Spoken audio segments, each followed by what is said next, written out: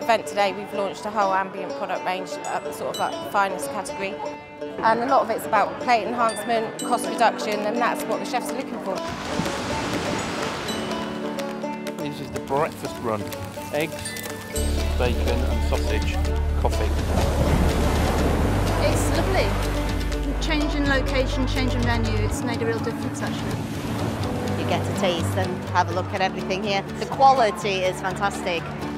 Cassava that is, I don't know if you've ever seen it before, so you treat it like a potato. It's very early this year, but that is stunning.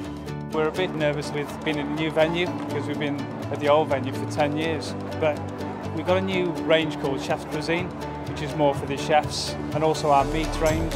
So we're pulling in customers from uh, Chester, the Wirral, all on the North Wales coast.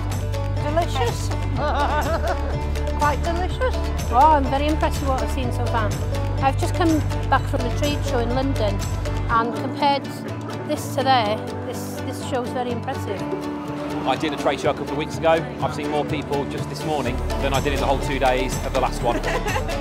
it's nice to talk to people and get to know what restaurants are wanting. The kind of chefs are becoming more experienced these days and more adventurous. it's impressive. It's tasty.